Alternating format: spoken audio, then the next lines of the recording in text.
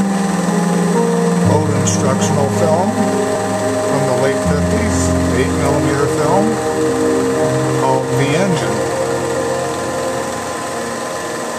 Engine.